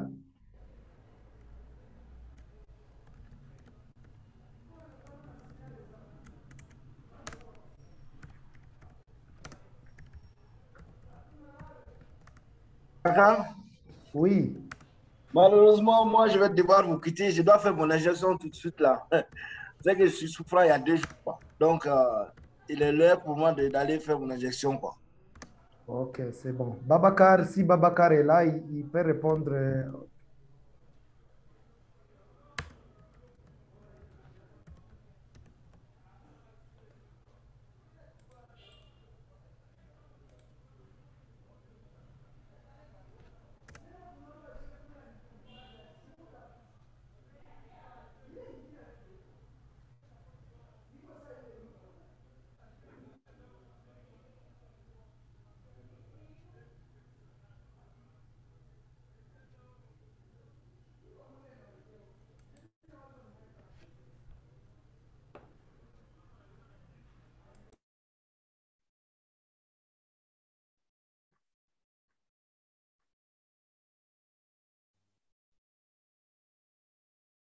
Est-ce que Babacar est là ou il est parti? Je ne sais pas. Euh, euh, c'est bon. Euh, c'est lui qui a posé une question là-dessus. C'est qui encore? Il est là? C'est Obed? Oui, je suis là. Ok, c'est bon. Parce que je ne vois pas celui qui nous a fait la présentation d'aujourd'hui. Mais bon, la question, vous pouvez la noter ici. Vous pouvez noter euh, votre question comme ça avec votre, euh, euh, votre email. Comme ça, on va voir comment est-ce qu'on va vous répondre, n'est-ce pas? C'est mieux. Votre, parce que votre vraiment question, votre question est, fondée. ok, merci beaucoup. Parce que je parle de slide ici. Peut-être Babacar aussi, je ne le vois pas. C'est comme si il a eu un problème Peut-être qu'il y a un problème systémique. Bonjour. Est-ce qu'il y a une autre question? poser une question? Oui, oui. bonjour. Oui, oui, oui, oui. Bonjour. Bonjour. Ok. Et moi, ma question adresse euh, euh, à Stratégie Airlines. Oui. que euh, vous avez, euh, je vois que vous avez fait de, formation diplômante. Voilà, est-ce que euh, quelqu'un qui a déjà le master, s'il veut poursuivre la, euh, il veut poursuivre euh, la formation, est-ce que vous avez des formations après les masters en suivi évaluation? En suivi, non, nous, nous avons, bon, euh, la formation que nous avons tout simplement, c'est la formation des quatre, bon, des trois mois qui est le certificat et puis euh, le licence et puis euh, le master 2. Ok. Euh, oui, le master 2. C'est ça a. au master 2. Formation Master 2, supérieure. oui. Euh, formation supérieure, bon, master 2. Ok. Études supérieures. Nous nous limitons tout simplement au master 2. Au master 2. Ok. Ok. Merci, merci beaucoup. Merci aussi. Monsieur Chaka, Oui, euh, j'ai une autre question aussi. Je suis Hamza de Djibouti. wow. Soyez le bienvenu, monsieur. Merci beaucoup. Euh, De tous mes chers participants, je crois que je suis le plus à l'est. Hmm. Oui, Monsieur Chaka, je suis vraiment très content de participer à ce webinaire et, et aussi à profiter de la, la présentation de Monsieur Babacar. Vraiment, il a, il a tout mis l'accent par rapport au suivi évaluation. Je suis statisticien de profession, très intéressé par le suivi évaluation et d'anticiper faire, euh, même euh, de faire une formation élevée. Donc, je me demandais, j'ai une petite confusion. Mhm. Et quand on fait le diplôme, c'est avec euh, stratégie Netherlands ou une, ou une quelconque entité. C'est ça que j'arrive pas à déceler. Euh, S'il vous plaît, vous pouvez répondre, vous pouvez répéter votre question. Oui, ma question c'est euh, par rapport au diplôme. Elle est dispensée par stratégie Netherlands ou Oui. une autre entité euh, travaille avec stratégie Netherlands. Autre entité, En- euh, autre euh, école, moi, je suis responsable de la formation euh, pour les stratégies à Netherlands et, et je fais aussi euh, une consultance à Capacity Africa parce que je vous ai dit que Capacity Africa, c'est euh, un campus affilié aux stratégies à Netherlands. Je ne sais pas si euh, euh, Non, non. Je- je- Oui, oui. Vas-y, vas-y. En tout cas, vous avez. Non, c'est c'est un peu euh, votre connexion Oui, ok. n'est pas du tout bonne. Vous m'entendez bien maintenant? Vous Maintenant, bien? ça va. Oui. Alors, M. Chaka, je voulais ajouter euh, quelque chose pour euh, euh, le panel. De dire que ceux qui veulent s'inscrire euh, n'ont qu'à s'inscrire directement au Master 2 s'ils remplissent, remplissent les conditions de, de s'inscrire au Master 2 en suivi et évaluation. Surtout cas pour notre frère euh, djiboutien qui est statisticien. Actuellement, à le monde où nous sommes, toutes les spécialités vont migrer vers le suivi évaluation. L'ingénieur, euh, il a besoin de suivi évaluation, de projet programme, le statisticien pareil, la gestion de projet, tous les domaines, toutes les spécialités euh, demandent le suivi évaluation. Donc, pour ceux qui ont le temps et qui peuvent le faire, moi, ce que je, me, ce que je remercie dans Netherlands ou bien Capacité Africa, c'est que euh, les cours, n'est pas sévère. Ça veut dire que tu n'es pas, tu n'es pas corsé, tu es, tu es, tu es, tu es maniable. Cela veut dire que ton emploi du temps si ton emploi est trop serré, tu peux attendre ton module, euh, voilà, dès que tu auras le temps, tu, finalises ton module. L'avantage, c'est ça. Or, si c'est dans les autres cours, tu es obligé de faire la présence. Donc, euh,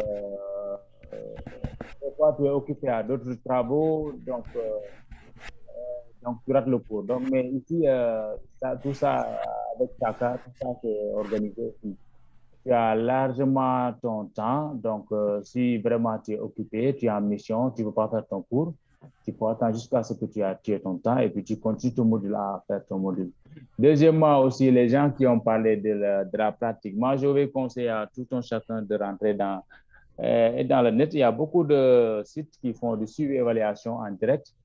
Euh, si vous mettez suivi évaluation, si vous mettez suivi évaluation, il y a par exemple Sénégal, Sénégal, Sénégal Evaluation, Sénégal Evaluation. Je vais mettre ça. Là aussi, si vous rentrez dans ça et vous inscrivez, Sénégal, et vous inscrivez, j'ai mis ça dans le, dans le truc. Sénégal, c'est l'association de tous les évaluateurs du Sénégal. Donc là, euh, on fait des séminaires, des pratiques, on fait, on fait un échange, on échange euh, d'expériences. Il y a aussi euh, les, les, évaluateurs africains. Il y a beaucoup de sites d'évaluation. Il y a une association des évaluateurs au niveau de l'Afrique. Là aussi, si vous rentrez dans le site et vous inscrivez, là aussi, il y a beaucoup de choses que vous partagez. Il y a aussi truc européen et euh, truc européen des évaluateurs. Euh, je vais, je, vous donner cette information. Donc, euh, on peut faire de l'évaluation partout là où on est. Donc, en, faisant partie d'un groupe, cela veut dire en Afrique ou au Sénégal, le, cas du Sénégal, que je peux dire. Si vous rentrez dans le site, vous mettez Sénégal, automatiquement vous aurez le site et on vous dira comment vous inscrire. Vous inscrivez et puis c'est fini. Vous partagez les informations, vous partagez beaucoup de choses. Donc, pour l'Afrique aussi, c'est pareil et pour l'Europe aussi, c'est pareil. Donc, euh, je vois que pour la pratique, euh, c'est faisable partout. Hein. Maintenant, pour l'école aussi, moi, je dis que ce que je magnifie le plus dans cette école, Capacité Africa ou bien Netherlands, je dis que l'emploi du temps est vraiment mobile, est vraiment élastique c'est pas, tu n'es pas obligé de dire que voilà, oh, mon modulage, je dois le finir, j'ai un problème de temps. Donc, si tu as un problème de temps, tu arrêtes, le, tu, arrêtes pour un autre temps, tu, tu jettes ton travail personnel ou bien ton travail, ton emploi dans ta fonction, et puis euh, tu as fini, tu continues ton module. Moi, je vois que c'est la meilleure idée. Merci à vous, chacun. Merci aussi, je peux ajouter à celui qui a demandé à cela. Bon, nous avons un cours ici euh, très important pour les plans aussi, les plans stratégiques communautaires, stratégiques, la structure organisationnelle et système de formation. Vraiment, ça c'est très important. Euh, euh, ça c'est très important pour le monde d'aujourd'hui. même si vous êtes, même Babacar peut aussi le faire, hein. vraiment, parce que c'est très important si vous êtes vraiment responsable d'un projet quelconque, si vous, voilà, il faut, faut vraiment avoir la connaissance au plan stratégique communautaire euh, et structure organisationnelle et système de formation. Ça aussi, c'est important. Euh, voilà. Alors, euh, ceux qui disent, je vois dans le chat, qui disent, est-ce qu'il y, a la, la, y a la réduction pour la formation de six mois, le diplôme, oui, parce que c'est la, la, la, réduction, c'est dans les toutes catégories, euh, dans les toutes catégories, euh, certificat et diplôme et, et postgraduate qui est le master 2. Et voilà. Ce n'est pas tout simplement dans le master. À ce qui concerne les suivi évaluation, vraiment, vous avez une réduction de 20%. Je vous remercie. Mm Allô? Oui, s'il y a une autre question. Oh, merci beaucoup pour ce cours qui était très bien fait. Kanga, Kanga Bernard. Kanga. Oui, c'est Bernardin et c'est Kanga, oui, de la Côte d'Ivoire. Je voulais d'abord remercier le professeur qui nous a vraiment éclairé sur le, sur le suivi évaluation avec beaucoup de précision. Vraiment, son PowerPoint était tellement bien fait. Merci aussi de nous inciter à venir nous inscrire afin de pouvoir bénéficier d'une bonne formation. Mais ma, ma préoccupation concerne, est-ce que le PPT qui a présenté la présentation là, on ne peut pas la voir? Est-ce qu'on ne peut pas voir cette présentation en fait? Puisqu'il y a une formation de six mois. C'est tout. C'était la question. Vous pouvez répéter la question, J'aimerais savoir, est-ce que la, il allez-y, allez-y, allez-y. Est-ce que la présentation qu'il a faite, on ne peut pas avoir le pupitre de la, cette présentation-là, On peut partager avec vous. On peut le partager avec vous. Est-ce qu'on peut partager? Il n'y a pas de problème. On va partager. Pas de problème. On, peut partager. Et même plus même. On peut mettre même augmenter d'autres choses encore. Beaucoup, beaucoup mettre beaucoup de d'oignons et de poivre encore. Euh, vraiment, merci beaucoup. merci beaucoup de faire de nous.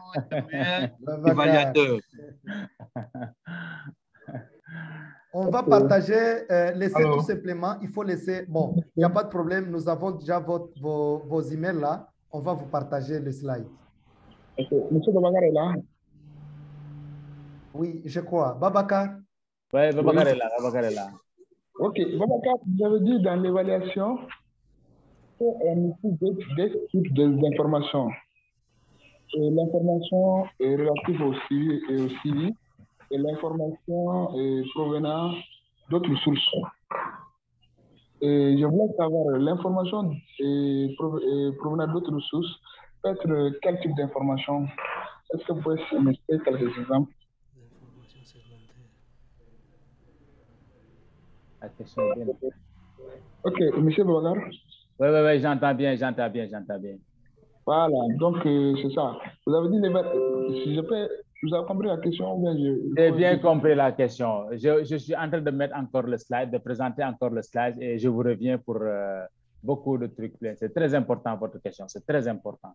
Parce qu'on ne ramasse, pas, on ramasse pas les informations de gauche à droite. Hein. Ok. Ok, merci, monsieur. Merci beaucoup. Merci beaucoup. Alors, s'il vous plaît, j'ai une préoccupation. Bernardin et Kanga Abidjan. Ouais. S'il vous plaît, j'aimerais savoir si, merci aussi de nous déjà de nous rassurer en mettant le support à nos dispositions. Merci aussi de nous partager les différents sites.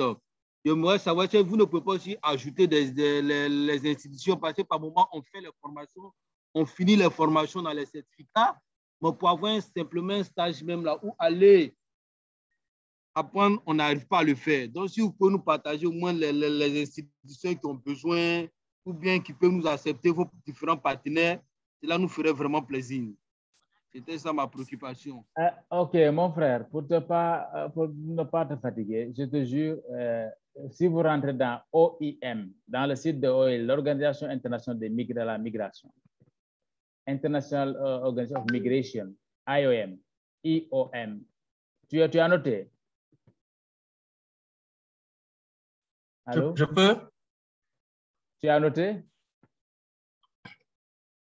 J'ai noté. Kanga, voilà, là-bas, tu rentres là-bas, tu verras, ils demandent, tu verras dans toutes les postes qu'ils vont demander, ils demandent suivi évaluation. Tous les offres d'emploi, ils demandent suivi évaluation. D'accord, merci beaucoup.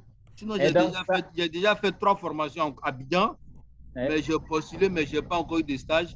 Ah, ouais, le, PNUD, le, PNUD, le, PNUD aussi, le PNUD aussi, il demande beaucoup de stages. Beaucoup, il demande aussi beaucoup de suivi évaluation. D'accord. Donc, euh, maintenant, quant au stage maintenant, le stage, des fois, il y a un problème financier. Mais euh, tu as, il faut chercher à contacter les ONG à postuler. Tu postules tout juste, tu fais ton CV, tu postules, tu postules. Si on te prend comme suivi, comme évaluateur, tu prends. Maintenant, si tu vas de la- du volontariat en suivi évaluation, tu peux prendre. Tout ça aussi, c'est important. Mais quant au métier de suivi évaluation, les gens ils demandent ça partout. Regarde, dans tout, ici, et, et je dirais tous deux, mais beaucoup d'ONG dans ce pays, dans ce monde, ils demandent de suivi évaluation. Même la Croix-Rouge demande de suivi évaluation. Partout, vous demandez les postes, ils vont demander suivi évaluation. Project manager, project management, euh, voilà, monitoring évaluation, tu verras beaucoup de choses. D'accord. Vraiment, merci beaucoup. J'ai raté votre première session là. L'heure que vous m'avez donné la dernière fois là, je me suis trompé. Donc, quand je suis arrivé, vous avez déjà fait la session. Mais là, on dit, j'ai tout fait pour être là. J'ai tout fait pour ne pas rater cette séance. Merci encore. Je Ok. Allô? Allô, bonjour. Allô Allô? Allô? Allô, Oui? on est là. Ok, monsieur? Allô? Oui, Oui, Voilà. eh, permettez- Allô? Permettez-moi de... de répondre. Ok. Ok, ok, il n'y a pas de problème. Merci. Allô? Oui, monsieur. Oh. Ok, oui, permettez-moi de revenir encore, de revenir encore. Et comme M. Babaka est là, j'avais un temps posé eh, deux inquiétudes, mais je n'ai pas trouvé de réponse parce que vous aviez peut-être eu un souci de connexion. Et comme vous êtes là, je voudrais rebondir en même temps pour avoir satisfaction. Donc, si vous permettez, je peux rapidement aller sur les questions. La première inquiétude, c'était de savoir euh, au niveau des relations, de la relation entre le suivi et l'évaluation, et vous aviez parlé au niveau du suivi de la collecte des données et de l'analyse et l'élaboration du rapport et après un contrôle et action concrétisée. Donc, mon inquiétude, c'est de savoir, après analyse de données, est-ce que, qu'en est-il de, de, l'interprétation et de la synthèse de, ces données-là avant l'élaboration du rapport? Et ma deuxième inquiétude, ça concerne la différence entre les examens et le suivi. Et vous aviez dit que c'est vrai que le suivi et l'examen, pardon, n'est pas aussi, est moins fréquent, mais quand on fait le suivi, on peut toutefois et, automatiquement faire aussi un examen. L'examen peut être inclus dans le suivi parce qu'arrivé à un certain moment, on peut voir où est-ce qu'on en est, est-ce que les objectifs qui ont été prévus, est-ce que les objectifs ont été atteints, ou bien c'est comment, c'est à 50%, soit 75% pour prendre une décision, pour, ou bien pour prendre pour euh, corriger les, les, les, ces objectifs-là à atteindre. Donc, je voudrais savoir, est-ce que le suivi, est-ce que l'examen peut être inclus dans le suivi? Donc, euh, je vais et profiter ajouter en même temps une petite question par rapport à l'évaluation. Vous avez parlé de deux évaluations, l'évaluation à mi-parcours et l'évaluation finale. Donc, je voudrais savoir, peut-être pour commencer certains projets, on fait peut-être une première évaluation, genre une enquête CAP, ou bien pour faire la collecte des données sur la, connaissance et perception des populations, bien des bénéficiaires. Là, est-ce qu'on peut parler d'une évaluation, une première évaluation, ça veut dire évaluation pré-projet, ou bien c'est carrément euh, un autre truc à part? Merci beaucoup. À vous.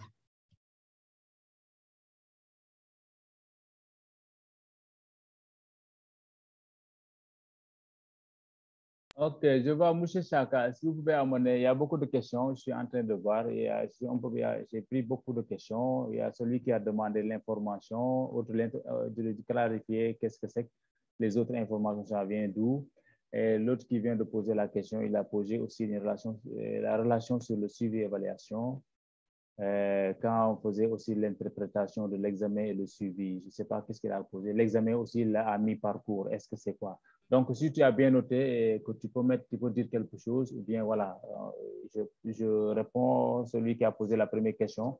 Après, le monsieur là qui a posé les deux, les deux grandes questions, plus importantes même, euh, on revient, on va répondre. Mais dans tout ce qu'on a dit, je vois que c'est tout juste le même langage c'est toujours le même langage et que peut-être euh, c'est un jargon, mais un jargon qui est un peu différent. Le français, l'utilisation des définitions et de français peut-être peut être différent, mais je vois que grosso modo, ce qu'on dit, euh, c'est la même chose, la compréhension. Maintenant, pour commencer, pour celui qui a parlé de l'info, dont je, voulais même partager ceci, le, diapo, attends, je vais voir encore. OK, donc euh, pour, euh, pour euh, la présentation qui disait sur la relation entre le suivi et l'évaluation. Donc, euh, Chaka, si je peux partager encore ce slide ou bien ce n'est pas la peine? Est-ce que vous voulez, vous voulez partager ça? Oui, je voulais partager ce slide pour montrer ça aux gens, montrer ça, voilà. comme vous n'êtes. tu, as désactivé ça, tu as désactivé, désactivé ça, oui. Euh, oui, oui. OK.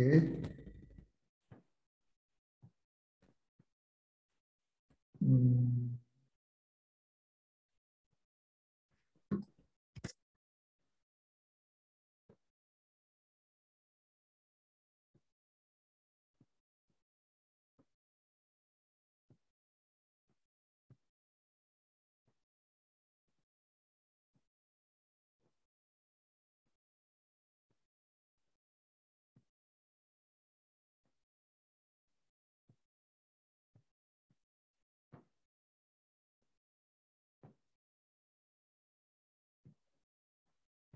Est-ce que M. Diara est là? M. Diara?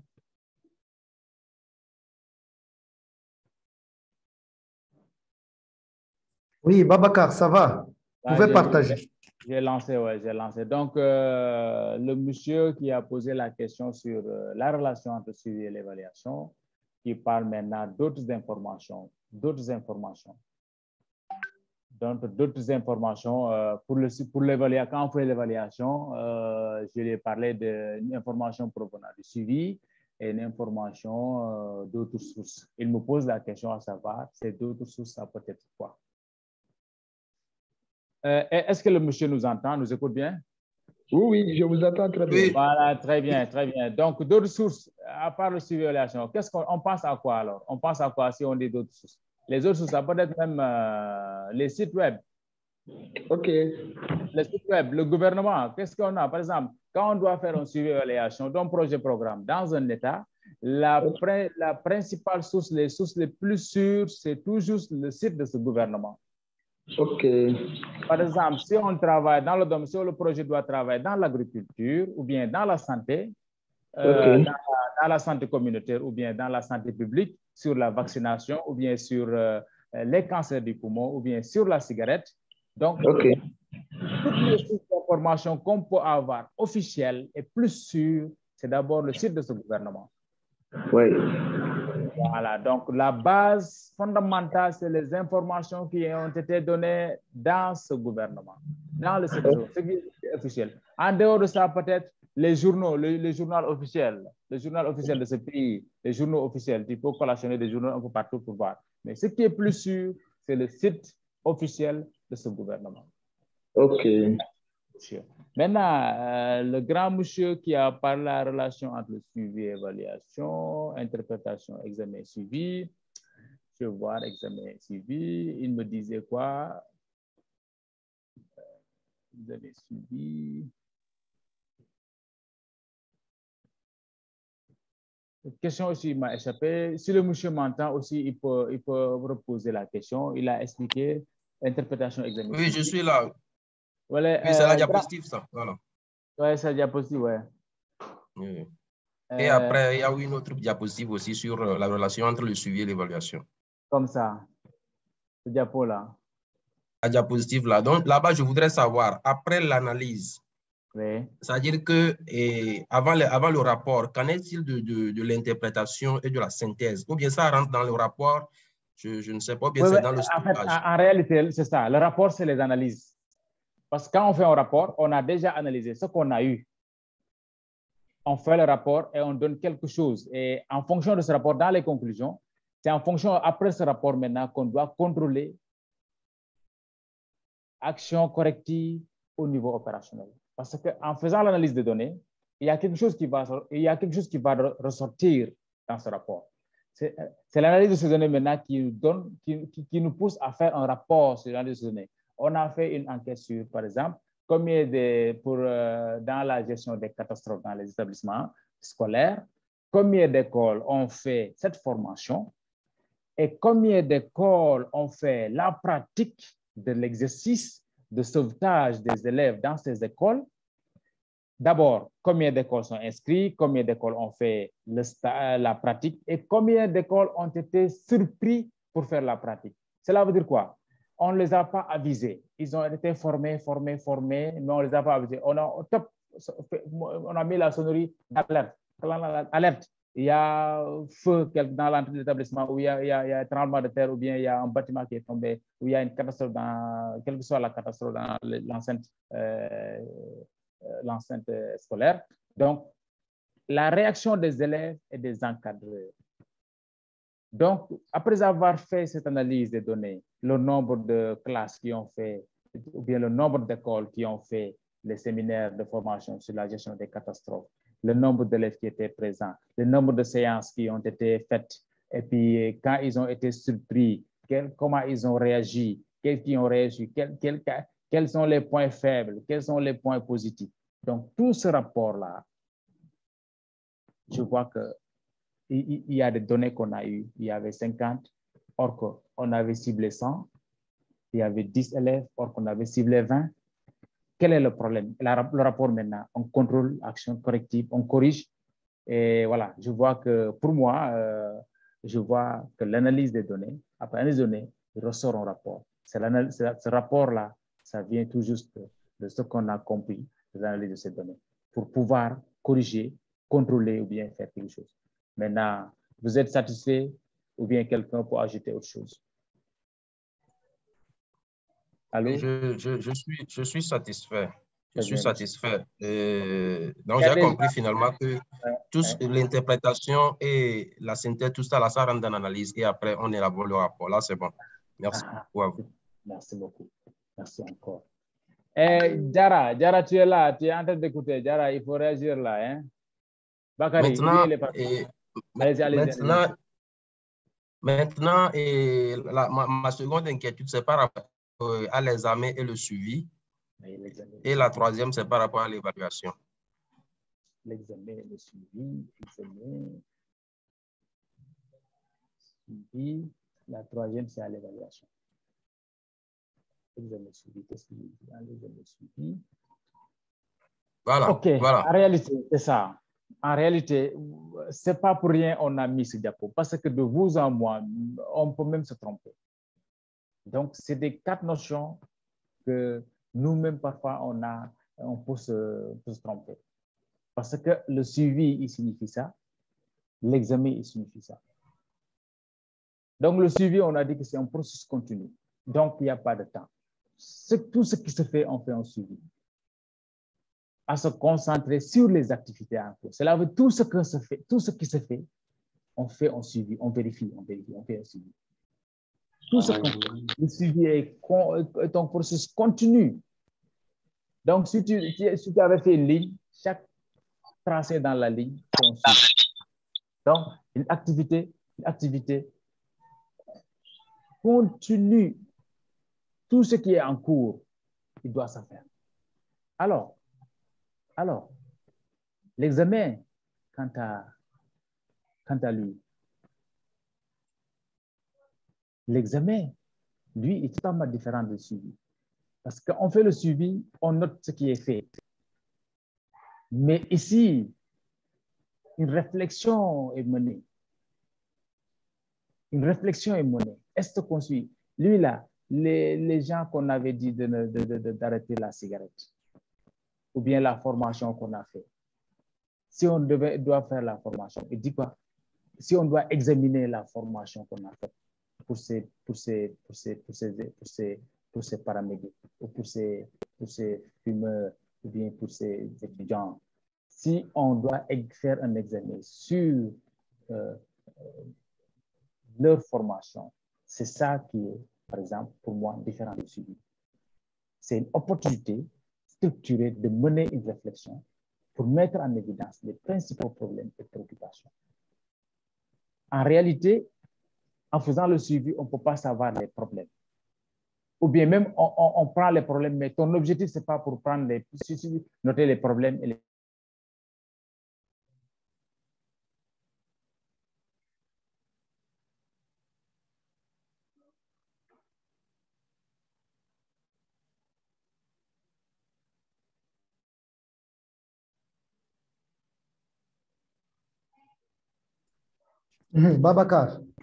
Moi, parti. C'est comme il y a encore un souci de connexion. Peut-être. OK. Euh, je vais vous ajouter quelque chose tout simplement parce que euh, moi, je n'ai pas eu le temps de, de parler, Bon, qui est très important euh, pour peut-être attendre Babacar. Bon, chaque fois dans le suivi évaluation, il faut, qu'il y ait aussi communication de résultats de suivi évaluation qui est très important pour la, pour, la- pour l'action et la responsabilité. N'est-ce pas? Euh, il est toujours important de communiquer le résultat de suivi euh, de l'évaluation afin d'agir, les rendre des comptes. Oui, peut-être euh, un plat de communication, voilà, qui ce qui est nécessaire aussi. Par les acteurs cibles qui doivent recevoir la communication relative euh, au suivi évaluation, c'est la partie euh, prenante aussi, qui ont besoin des informations différentes euh, des informations différentes et différentes pour, euh, en matière de communication aussi. Il y a les besoins des informations, voilà. Et ici, euh, c'est très important, euh, ici, dans le suivi évaluation, qui est un peu aussi de la communication des résultats du suivi et de l'évaluation. Je ne sais pas si Babacar est là. Sinon, monsieur Chaka, c'est bon, c'est bon, j'ai compris. Vraiment, merci à vous. Euh, merci aussi. Euh, merci vraiment euh, pour euh, votre intervention. Question bien suivie. Voilà. Est-ce qu'il y a quel. Amadou, Oui. Vous avez une question? Oui, oui, j'ai une question. Bonjour tout le monde. Bonjour. Olivier, merci pour euh, cette séance de, de, mise à jour ou de présentation d'introduction sur euh, le suivi évaluation, sur la suivi évaluation. Moi, j'ai juste euh, une question, deux questions. La première est que, est-ce que vous faites euh, un accompagnement, Mhm. un suivi évaluation du projet? C'est-à-dire, je m'explique, hein. j'ai quelqu'un que je connais Mhm. qui a eu une promotion en fait à l'interne, mais avant la promotion, il occupait le poste d'informaticien en fait. Mhm. Donc, euh, vu qu'il il a accompagné plusieurs fois le, les suivis évaluateurs euh, sur l'exécution d'un projet, de, de- de deux projets, mais vu, vu qu'il n'a pas été sur le terrain, et maintenant qu'il a eu une promotion, et la même semaine, euh, son, le, le manager a, a eu une- a changé de boîte en fait. Donc, du coup, il est un peu bloqué. Il, veut, il, veut, il veut que moi, je lui porte euh, mon appui pour l'aider euh, dans le processus du projet à laquelle il est en train de, suivre.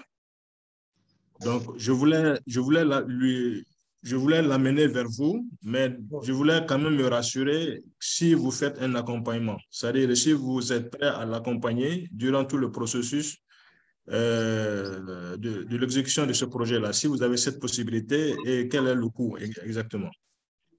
Je sais que plus tard, il va, quand cet accompagnement va débuter, il, il a l'intention de prendre euh, des cours, en fait. OK, merci beaucoup. euh, merci, mon frère. C'est- Oui, on les fait parce que, bon, à ce moment-ci, moi, bon, moi, je l'ai fait, mais à ce moment-ci, j'ai euh, beaucoup, beaucoup, beaucoup euh, de, euh, de choses à faire parce que c'est moi euh, les, qui est aujourd'hui le strategy manager ici. Alors, bon, pas, mais mais il n'y a pas de problème. Moi, vous pouvez, me- moi, je suis là. Euh, D'accord. je peux même, je peux même lui orienter parce que j'ai beaucoup, beaucoup euh, euh, de gens qui le font. Mhm. on, peut, on peut lui aider, il n'y a pas de problème. Vous allez me donner les contacts. D'accord. Moi, je ne sais pas, je vais mettre mon numéro ici, le numéro Oui, je WhatsApp. pense que c'est préf- Voilà, vo- votre numéro WhatsApp, comme ça, ça sera plus facile Ah qu'il communique avec vous Ah, qui directement. communique avec moi comme ça. Même, même Babacar peut lui aider parce que c'est il est expert aussi. Euh, OK. c'est mon ami. J'ai beaucoup, beaucoup, beaucoup de, euh, des experts en matière de suivi évaluation. Hmm, D'accord. Il n'y a pas de problème. Là, je vous rassure. Ah, ah. OK, d'accord. Maintenant, ma deuxième question, Mhm. je sais qu'il y a beaucoup d'autres, je voyais déjà, vu que je suis venu, j'ai pris le train en marche. Donc, euh, il y a beaucoup de, de, de paragraphes que je n'ai pas suivis dans la, dans l'introduction, mais je, je vois qu'il y a mes prédécesseurs qui ont demandé à, à voir si on peut, si vous pouvez nous partager euh, ce module-là, en fait, la Voilà, présentation. mon, mon, mon numéro déjà est là. Je ne sais pas si vous avez déjà vu. Oui, oui, je vois déjà. Ça, c'est mon numéro WhatsApp. On peut communiquer. Ah, et puis, euh, euh, pour les slides, Oui. comme nous avons déjà vos emails ici, je vais vous envoyer les slides. Je vais vous envoyer les slides. Et puis, vous pouvez aller visiter, euh, pouvez visiter notre euh, chaîne YouTube. Il y aura aussi euh, cet enregistrement ici. Il n'y a pas de. D'accord, d'accord. D'accord. C'est simple. Ok, c'est tout. C'est tout, merci. Merci beaucoup. Et il faut, il faut s'enregistrer. hein. Il faut aussi s'enregistrer à- au cours que nous nous offrons ici. Parce qu'on a beaucoup de cours, euh, c'est mieux. Euh, il faut aussi. D'accord, d'accord. Mm. Ok, j'ai compris. Merci beaucoup. Il y a une Merci. autre question? Oui, il y a d'autres questions. Ok. Oui. Tape, par exemple, tape 84. Oui, euh, je peux poser une question, si vous me permettez. Oui, oui. Voilà. Là. Ça, c'est pas actualisé. Oui, ça, c'est pas actualisé. Maintenant, tape 13, Merci.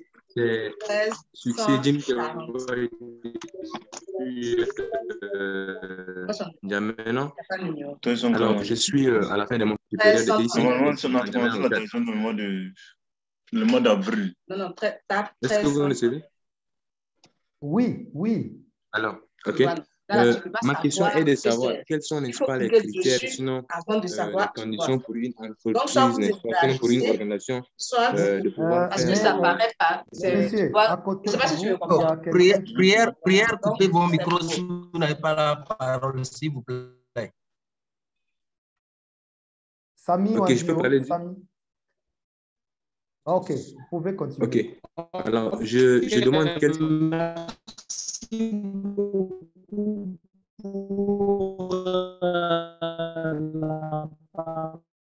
Problème de la connexion. Voici, voici C'est bon